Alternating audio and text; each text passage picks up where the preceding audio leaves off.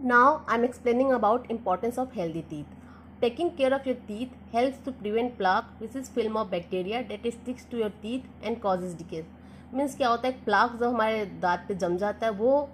Bacteria हो जाता है वो हमारे टूथ को नुकसान कर सकता है now I am explaining about care of teeth we must take good care of our teeth twice a day prevent their decay means हमको डेली टू टाइम्स ब्रश करना चाहिए it is important that we brush our teeth properly for at least two two three minutes means क्या होता है, जब बच्चे brush करते हैं, और वो बहुत ही जल्दबाजी में होते हैं, और जल्दी जल्दी ब्रश करते हैं, उनको ऐसा नहीं होना चाहिए we should do brush two two three minutes now I am explaining about microbes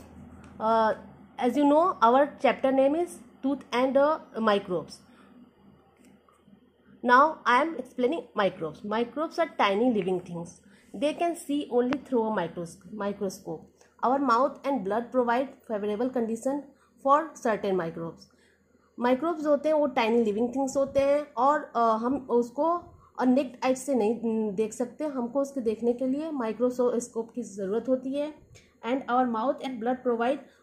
favourable condition for certain microbes वो अगर हम ब्रश अच्छे से नहीं करते तो हमारे मुँह में हमारे टूथ पे जम्स हो जाते हैं। Disease causing microbes are called